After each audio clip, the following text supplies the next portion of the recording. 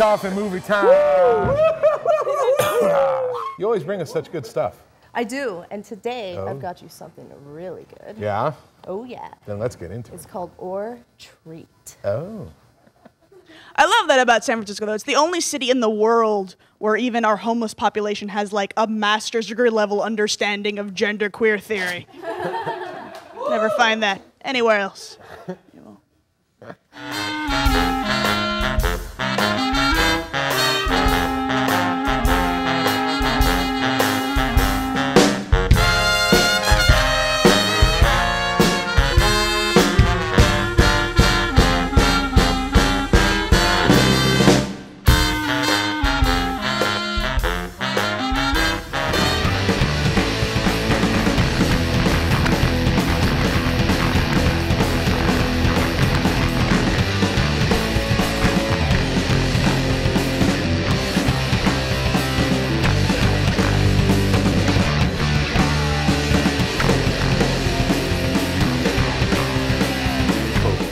So after spending some Oh, sorry, guys.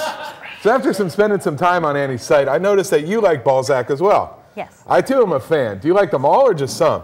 Everyone knows that I can't get enough Balzac. Uh, Holy crap. Man, Whoa.